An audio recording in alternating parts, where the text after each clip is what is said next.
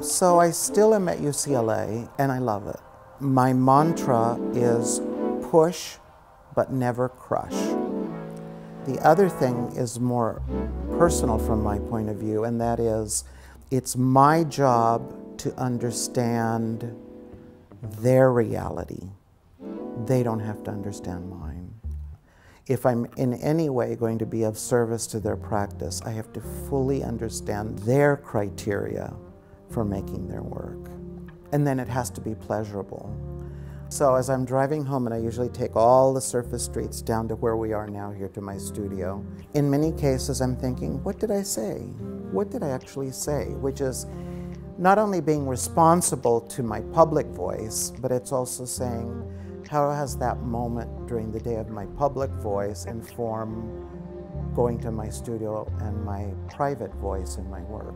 It's always seeing a reciprocity between the act of teaching and the act of being in my studio. They're not compartmentalized. And if they are, you shouldn't be doing it.